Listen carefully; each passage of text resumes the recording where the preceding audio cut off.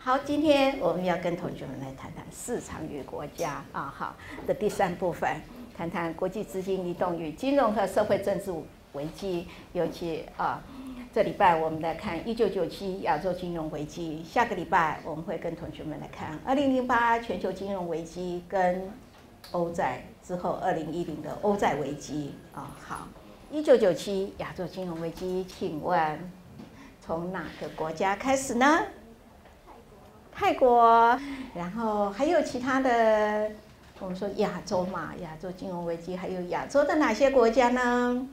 南韩，还有呢，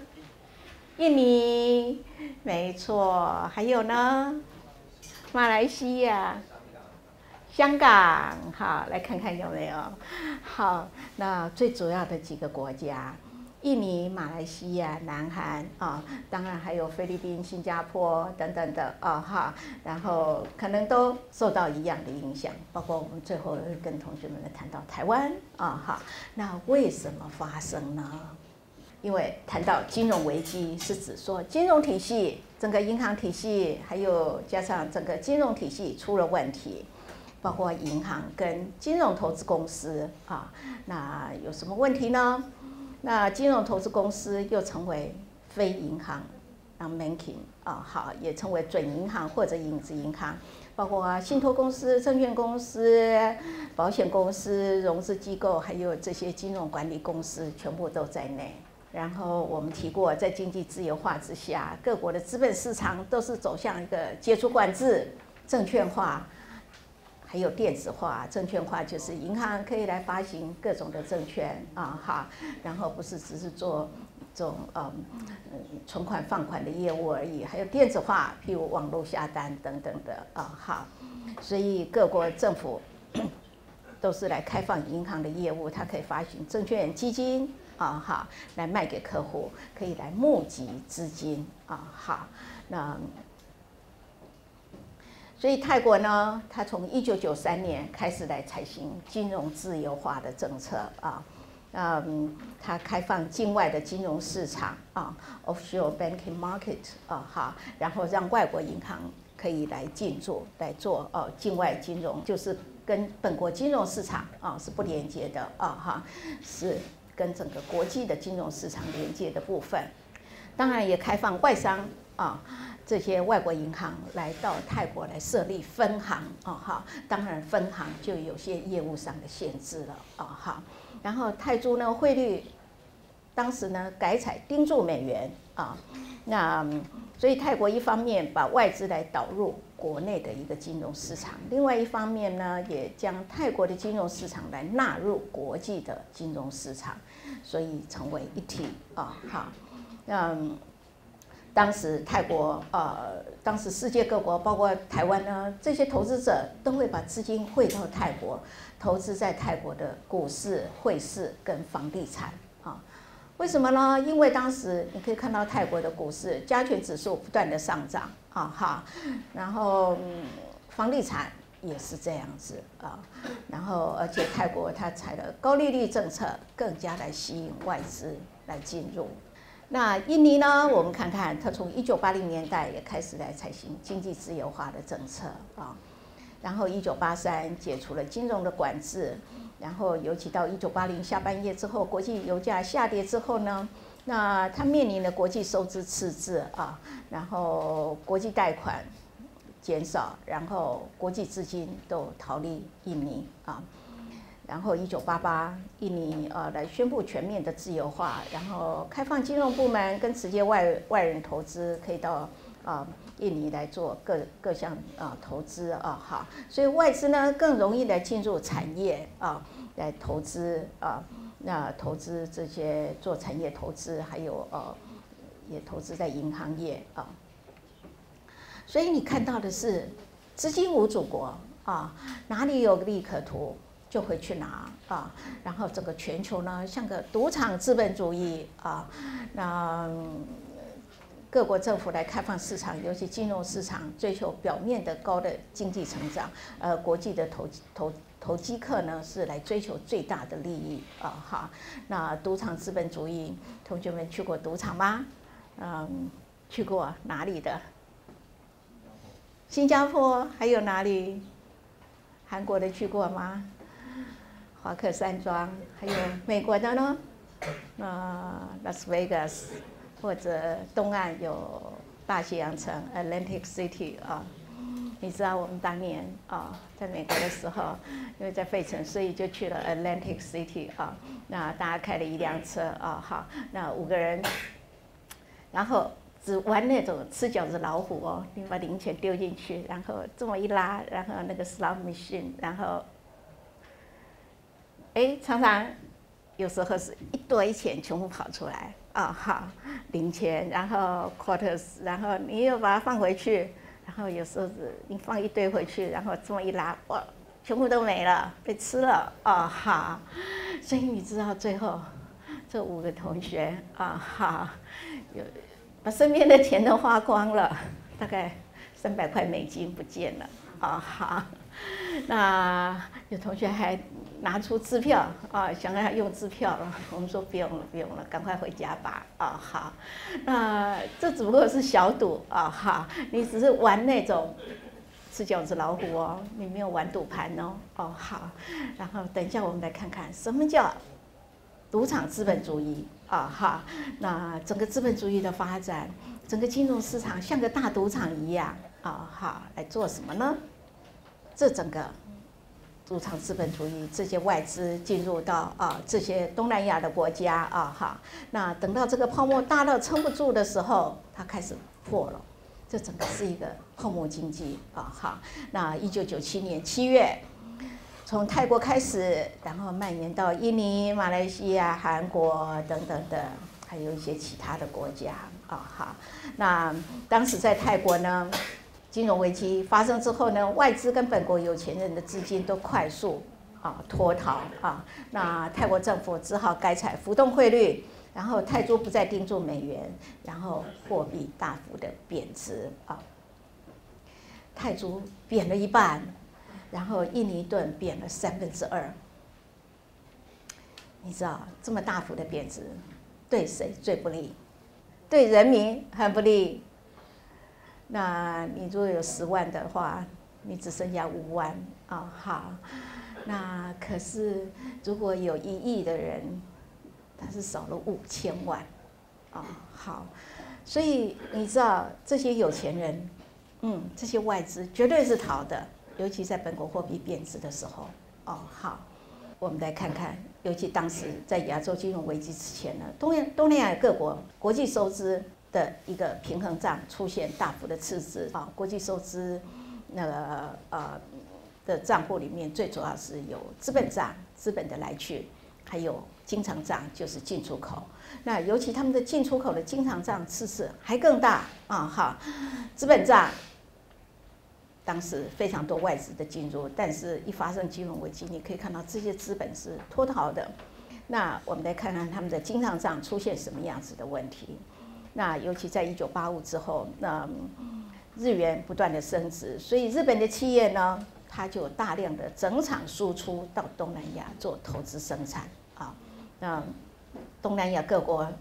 最主要他们的出口是出口到美国，但是为了出口呢，它必须要由日本来进口更多的原料还有零组件啊。那本来他们进呃来进行的呃这个工业化叫进口替代工业化。就是你来替代进口，然后你进口减少，应该是可以来缩减国际收支的赤字啊哈。但是哪料到它变成为你为了要工业化，你必须要进口更多，所以成为一个进口密集的工业化。所以进口多表示你的国际收支，尤其经常账是赤字，嗯，更大的啊。好，那。印尼呢，则为了促进经济成长，也是奖励引进啊这些嗯外国的企业资金啊哈，然后它从税制汇率上也是来着手来促进工业化，但是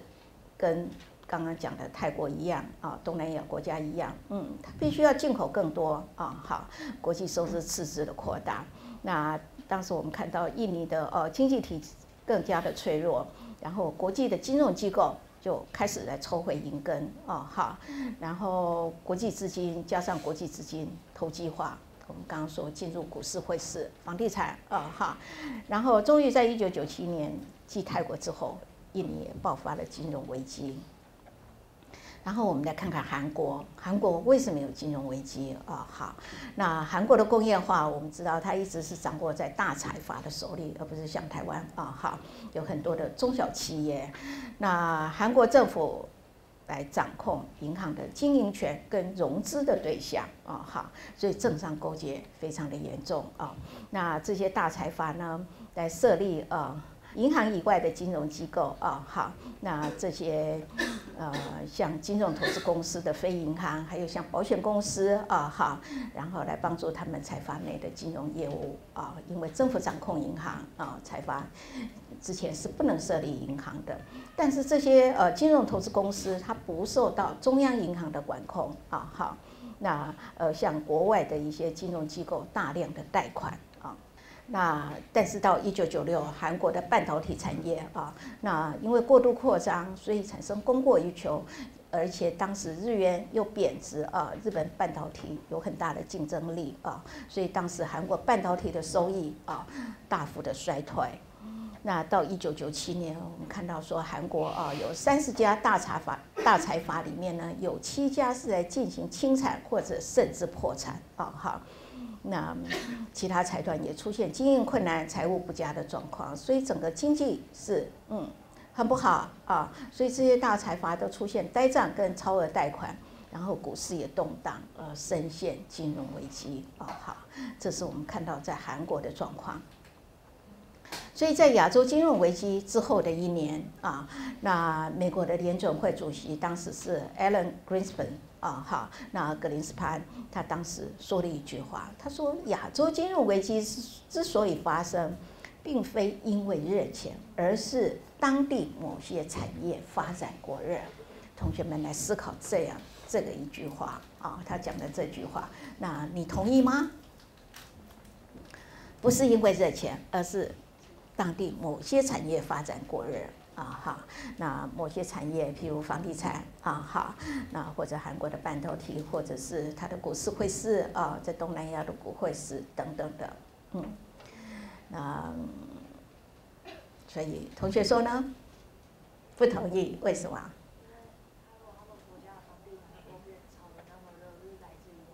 哦，同学说房地产。所以会被过热，是因为外资啊哈。那我们来看看，因为如果光靠泰国本地的资金，你想它的股汇市、它的房地产可以有这样子的涨势吗？不可能啊哈。那所以资金哪里来？嗯，资金哪里来啊？那当然来自于国际的资金。啊，好，那尤其是先进国家，它有大额的退休金啊，退休基金，还有私募基金，很多银行的私募基金啊，好，那而且这些我们要看这些外资，这些国外的资金啊，哈，那进入当地的股汇是房地产，它是长期投资吗？是不是？同学摇头说不是啊，好，不是，好，那不是，那它常常是什么？待个三五天。或者一个礼拜啊哈，等股汇是涨了，好涨够了，他就获利了结这样一个字眼，同学可能在报纸上你会常看到啊哈，报章杂志啊哈，电脑新闻你都可以看到哦，外资获利了结是什么？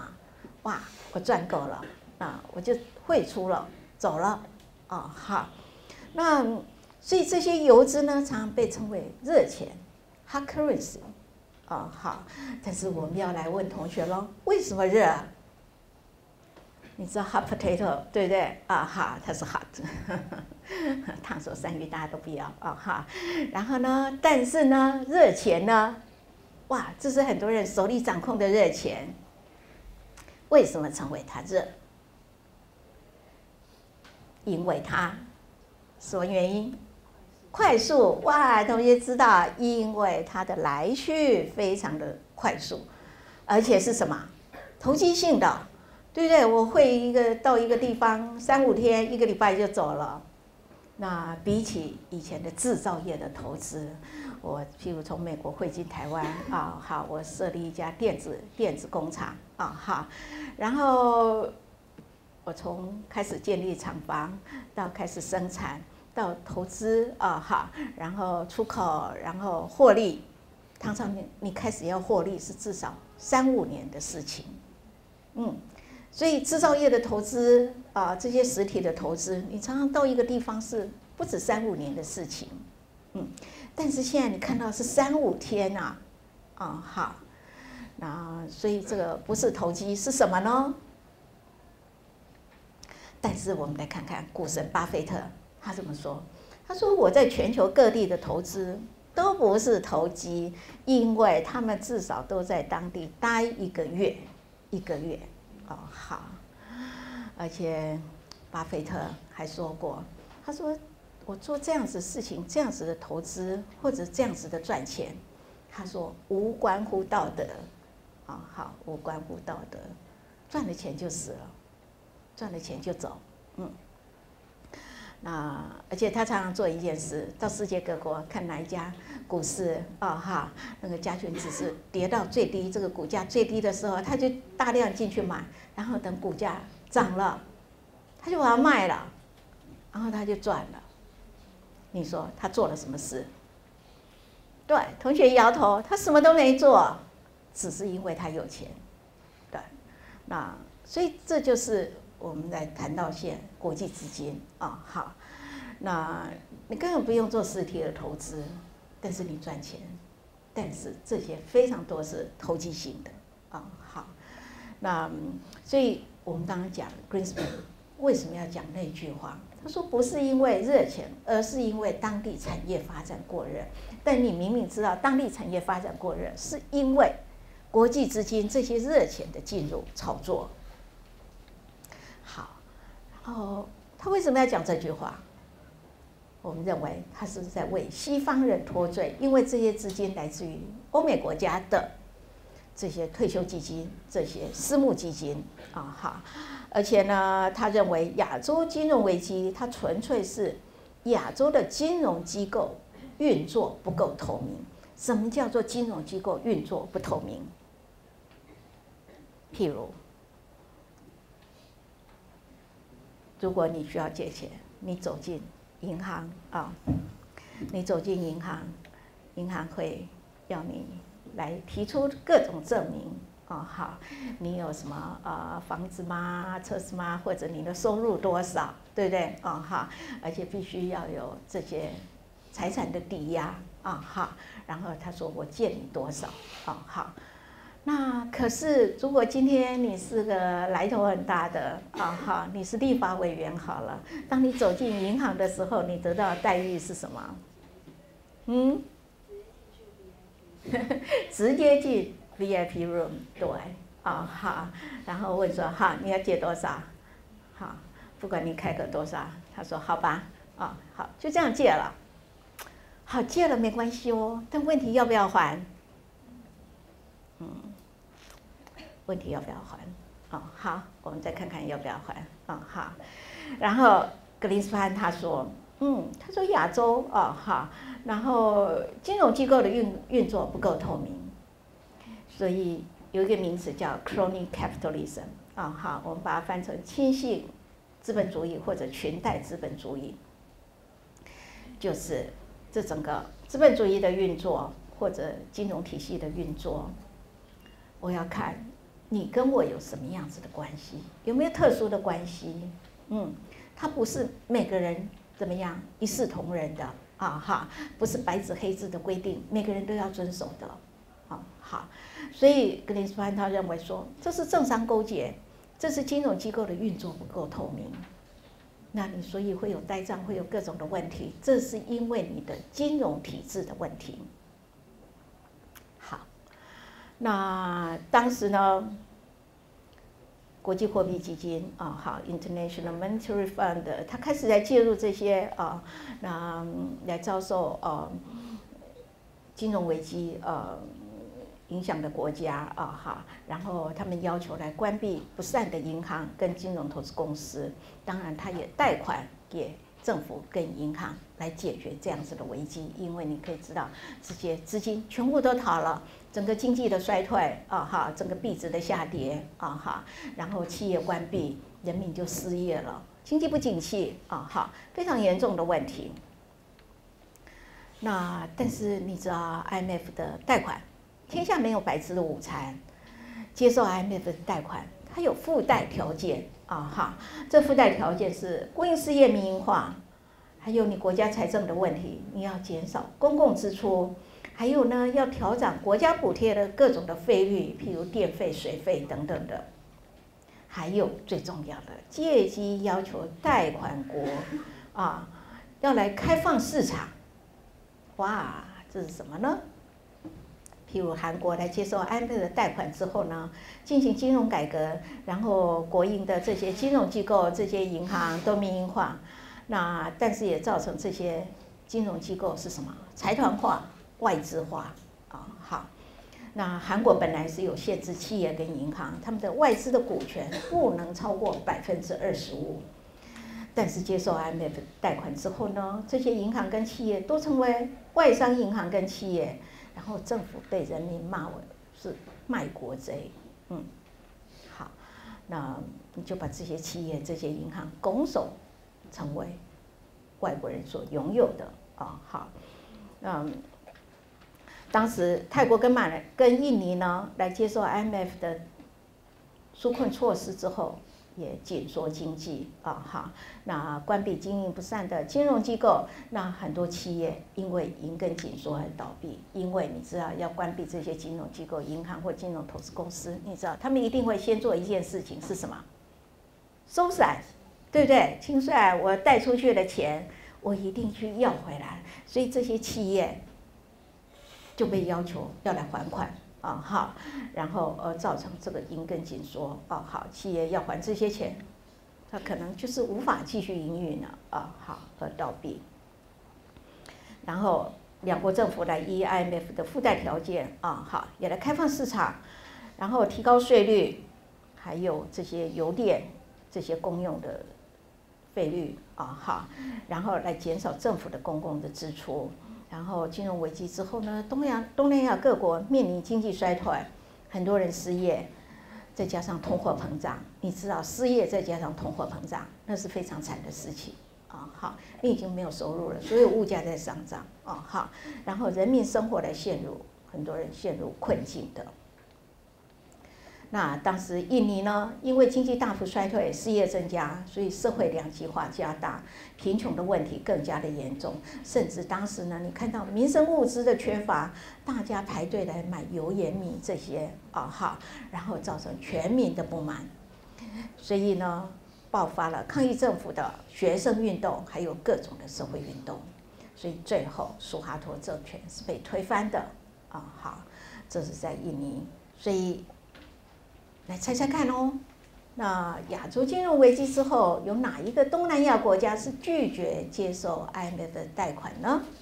马来西亚，哇，答对了，没错。那当时的总理马哈蒂啊，他是民主主义者，他主张说这个事情就由马来西亚自己来解决啊哈。然后他提出说，从部长开始减薪十分之一，然后要求企业可以减薪，但是不可以裁员。啊好，那这样子人民就不会失业啊。那而且政府改采浮动汇率，然后当时马币贬值啊，那它反而吸引大批的隔壁的新加坡人哦哈到马来西亚来购物，然后呃反而是缓和了经济的衰退。最后马来西亚是成功度过金融危机的。那所以我们要来看看 IMF。叫做 international monetary failure 吗？啊，好，另外你看到一九九七亚洲金融危机，两千年网络经济泡沫化跟全球经济同步不景气，哇，两千年这是全球经济同步不景气是很严重的事情哦，因为你看到以前有经济不景气，它可能只是在欧美或者在亚洲或者在某个地区，可是两千年你看到全球各地都一样，是经济同步不景气，大家都不景气，那你想要怎么办呢？哦好，当然你要问为什么发生呢？哦好，那再来更大的经济危机是二零零八全球金融危机，有人把它称为，这不是不只是金融风暴，这简直是金融海啸啊哈，大家都逃不过的啊哈。再来二零一零年欧债危机。哦，欧债危机，这是我们下个礼拜要跟同学们谈到，谈二零零八全球金融危机，然后跟接下来的欧债危机。好，那然后之后，大大小小的金融危机都在全球蠢蠢欲动。啊，好，譬如在二零一三的第二季、第三季，每三个月为一季。啊，好，然后第二季、第三季。几乎都可以成为南方国家的金融危机。南方国家最主要是指这些开发中国家啊，好，有些有时候我们会成为南方国家、北方国家。北方国家大部分都是先进国家啊，好，已开发国家。所以这些开发中国家呢，几乎是资金大量的净流出，流出哦，哦哈，那包括当时的印度、印尼、泰国。还有巴西这些拉丁美洲的新兴市场，这些 emerging markets 啊，好，那资金大量的流出，你就可以看到，可能流出它的股市、汇市啊，哈，房地产，还有各式各样的这些企业啊所借贷的钱。然后呢，二零一五一样的第三季啊，好，那你可以看到全球的股灾。真的是像个大灾难一样啊！哈，那下跌，然后呢，中国大陆的经济成长快速趋缓啊！哈，中国大陆从二零一一之后经济就开始趋缓，但是二零一五之后啊，哈，快速趋缓。那你可以看到，尤其这些国际原物料的价格崩跌，因为中国对这些的需求减少，世界各国的需求也减少啊！哈，那包括铜、铁啊，还有。这些煤矿等等的啊，好，那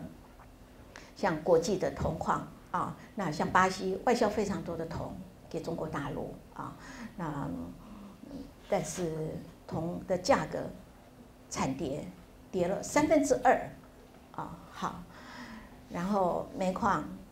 铁矿啊这些价格都跌了一半啊，所以巴西你可以看到现在是什么，呈现经济衰退的状况。啊好，然后因为它外销很多这些原物料啊哈，那这些呃到中国大陆的，还有到国际的其他地方啊，但是原物料的价格崩跌，需求减少啊好，那全球尤其全球贸易量也大减啊好，然后再加上外资大量流出这些发展中国家，包括印度还有东南亚国家，台湾也一样受影响的。啊，好，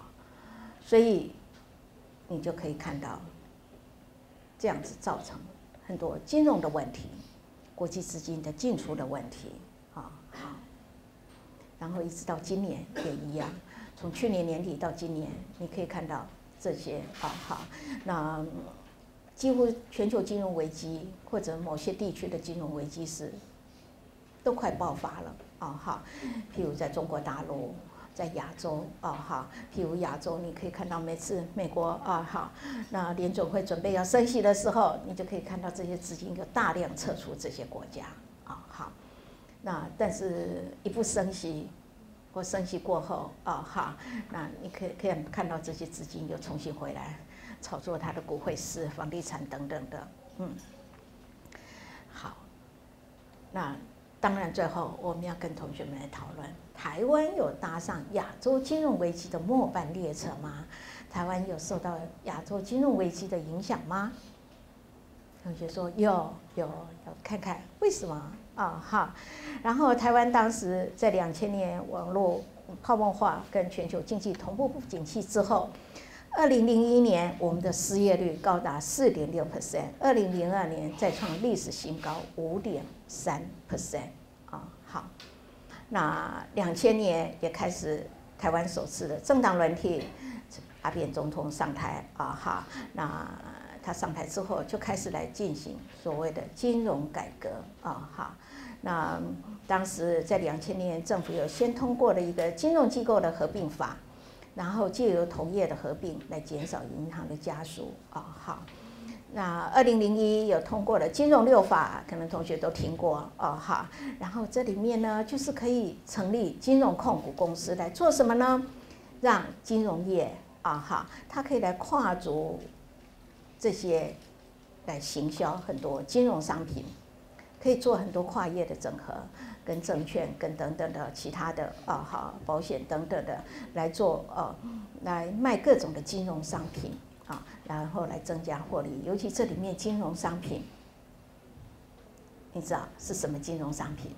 这是下个礼拜我们会跟同学们来谈到的基金啊，哈，那基金很多，那里面叫做衍生性金融商品，嗯。那衍生性金融商品 derivatives 啊哈，那这是什么呢？就是银行把一些譬如他贷款出去的，那可是这些企业或者这些呃贷款者啊哈，那他的财务状况可能不见得很好，但是呢，银行把它包装成为一个譬如证券好了啊哈，然后呢让你来投资，而且呢让你来压缩怎么样？这些企业以后的营运会变好或变坏，然后你要压对方向哦，你压对方向，你就得到你的投资的利润啊好，它可能是一倍两倍，用倍数的哦啊好，但是如果你压错方向是怎么样？你要赔，这个倍数是比你获得利润的倍数还更高。好，所以这是用倍数，你现在银行。你的存款，你的利息多少？一点四 percent，对对？是一 percent 哦，哦好，我们现在还在争论十八趴，就是十八 percent。好，那但是问题是，银行的衍生性金融商品，它是用倍数的，拿十八趴而已，它是不止一倍两倍，可能三倍五倍。如果你要赔，可能这个赔率是十倍。好那你说这是什么呢？杠杆，好，同学知道这个名称叫杠杆啊哈，但是实际它是什么？你要压它的方向，是涨或跌，变好还变坏，所以这是什么？这是赌博啊，对不对？这是投机性的。那你不是说我钱放在那边哈？那我可以弄个三倍五倍哦哈。那可是他是要你来压方向，嗯，会涨会跌，会变好变坏，啊好。那所以这是很严重的问题。那好，我们先跟同学们来谈谈台湾的两次。金融改革啊，好，在二零零二年有所谓的第一次金改，它目的是要提升资本的市足率，降低余放比，也就是你的放款跟你的这个啊好逾期不还呐啊好，就是呆账，嗯，要打消你的呆账的意思，因为当时呆账太多了。好，但是我们要问是谁的呆账呢？是你我的呆账吗？绝对不是，是谁的呆账？很多的企业，很多的民意代表，还有赴中国大陆投资失利的台商，这些台商借了钱是怎么样？不是跟留台湾，再留台湾，啊好，他即使在中国大陆赚的钱，他也不还台湾的钱，嗯，这是很严重的问题，所以，二零零二年你可以看到银行当时有大量的呆账啊，哈。那所以第一次金改是说要打消呆账，嗯。然后第二次，二零零四年第二次金改是要鼓励银行的合并，尤其当时公营事业的民营化啊，好。所以在阿扁任内呢，你就可以看到，嗯，这些台北富邦银行，它是台北银行跟财团的富邦银行的，嗯，变民营银行啊哈，然后被并购，然后呢，国泰世华呢，就是你先看到国泰世华，但是它是国泰的集团跟本来的世华银行供应的银行。啊哈，被国泰并购，然后兆丰国际也是啊哈，那这原来是中国国际商业银行一样的供应银行而被并购，嗯，所以这是台湾。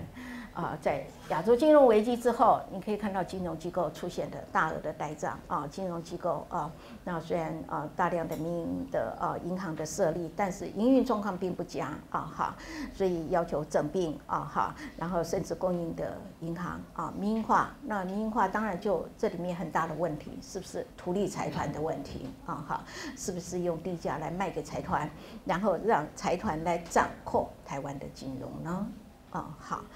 那所以最后呢，同学们认得他吗？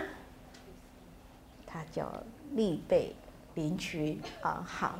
非常漂亮。但是他应该是在山上的，没错。可是不知道为什么出现在台大的校园哦。好，我跟你们介绍的鸟都是在台大校园看过的哦。哇，好，刚刚同学提到了这个名词，叫做我们。刚刚提到是说境外金融市场，刚刚同学说离岸的金融市场啊，哈，就是好像你不上岸，好像是在境外啊，哈。那譬如台湾好了，你在台湾的境外，但是它不是真的叫境外在海上，而不是，是说我设立一个金融市场，呃，不，设立有一个叫做境外金融市场，但是让外资。啊哈，让外国银行啊哈等等的可以来进驻，但是这些金融市场的运作跟本地的金融市场是无关的。嗯，那本来因为你知道每个国家要来开放，但是它可能不会马上开放让外资来进入，或者让外国银行到本地来营运，因为你知道这是基于保护本国的金融市场，保护本国的银行的运作。所以他设了一个叫做离岸的金融市场，外资可以进入，但是你只能在那个市场的运作，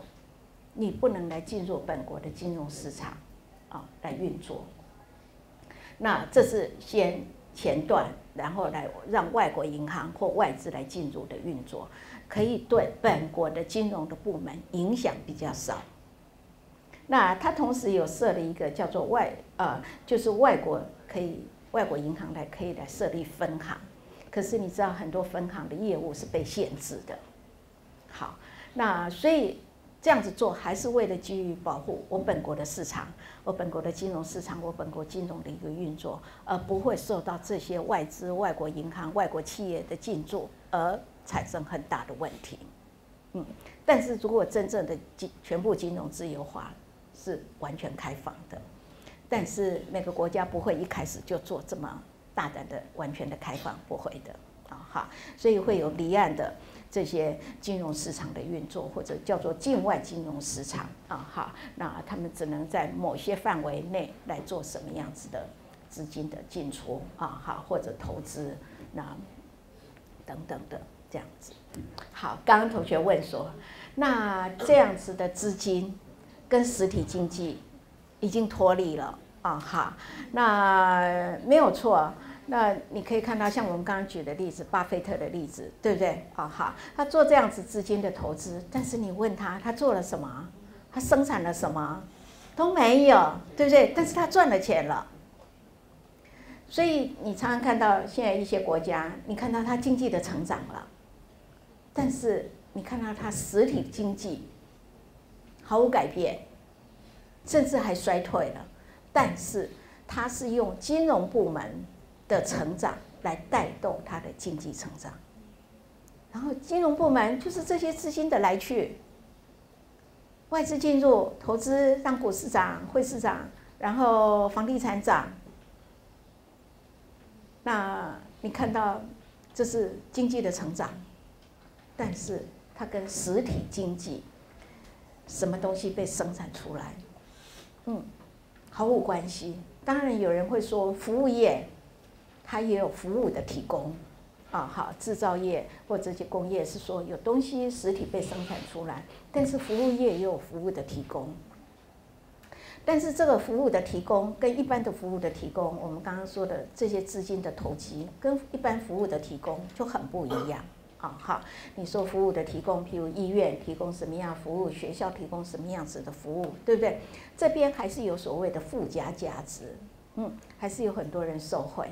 但是股市的这样子的，加权指数不断的上涨，你说好吧？还是有很多投资者啊哈，然后他还是赚了钱了。他受贿了，还是显示在叫做国民所得上啊？好，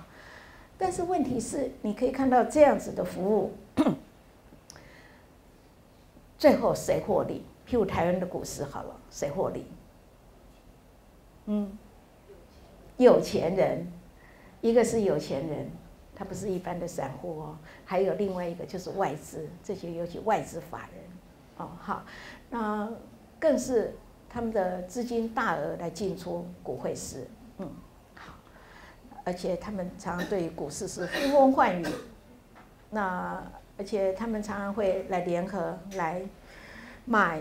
某些股票或者来卖某些股票，哦好，然后这些散户当你追的时候，你常常是追不上的，哦好，要追买的时候，你要买的时候它已经很贵了，然后要卖的时候呢，你已经卖不出去了。嗯，因为没人买了，哦，好，那所以呢，这是我们来看到刚同学问的，